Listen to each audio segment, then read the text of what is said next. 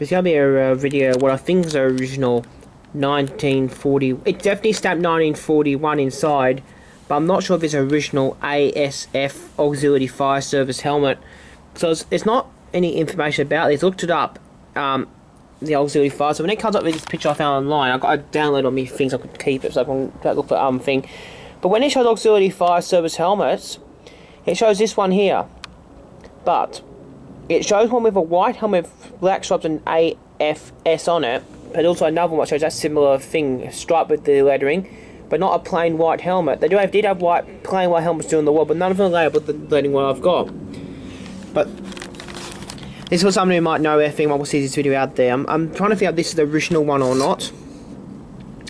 This is a 1941 auxiliary fire service hat, or 1942. What does it just say? What does it say on the helmet again? 41. That's what it says. 1941. So can someone please let me know in the um, comments thing below if this helmet is um, a real one or not? Because I've been looking up information. Nothing comes up when I look up online for this type of helmet. I've looked up white auxiliary fire service helmets.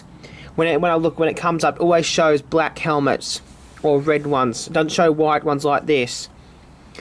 I got original Warden helmet. That's the original Warden helmet from 1942.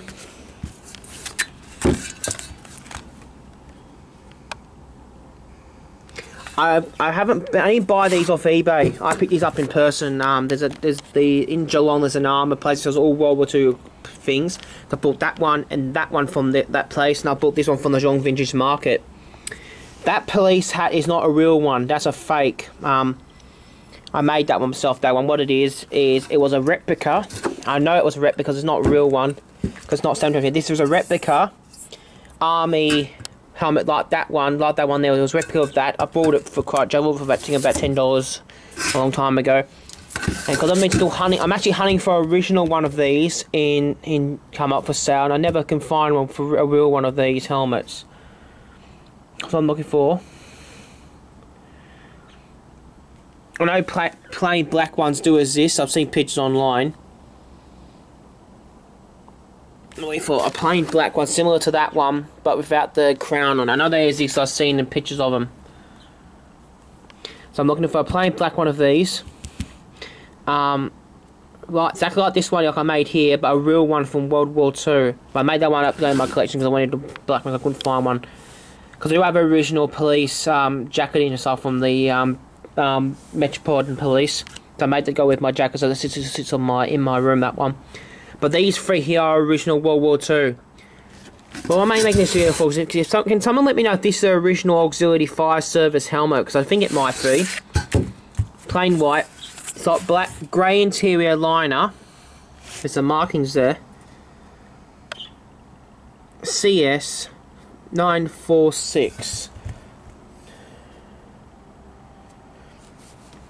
on the thing, CS. Um, but there was later helmets made, um, I believe, during the Cold War. Like these, were had an A on there as well from from the Cold War. But these helmets were discontinued mostly after the war ended. But I believe some helmets did stay into the, during the Cold War. Um, for the Cold War wardens, I believe they. I'm not 100 percent sure, but I know they had the Cold War helmets. But they had these during Cold War. I'm not too sure the warden ones. This is my original ASF um, Auxiliary Fire Service Fire Brigade helmet.